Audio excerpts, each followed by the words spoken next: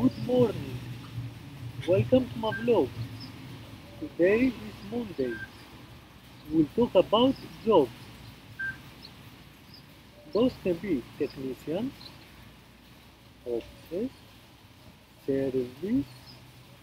Those are jobs that you can encounter.